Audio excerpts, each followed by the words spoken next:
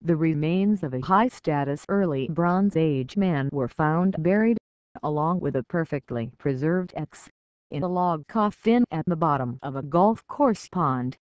Following the accidental discovery in July 2019 amid works at the Tetney Golf Club in Lincolnshire a rescue mission was launched to protect the delicate finds.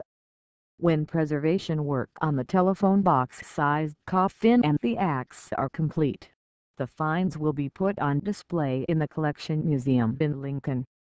The prehistoric log burial from Tetney is a significant discovery and we are very pleased to be contributing to the research and carrying out the conservation of the coffin and axe, said York Archaeological Trust Ian Panter. We hope to preserve the axe within 12 months but the coffin, due to its size, will take at least two years to fully treat.